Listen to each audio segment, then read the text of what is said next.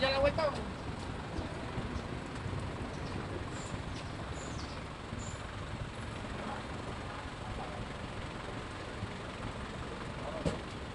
Ay, espera, mami, que estamos ahí.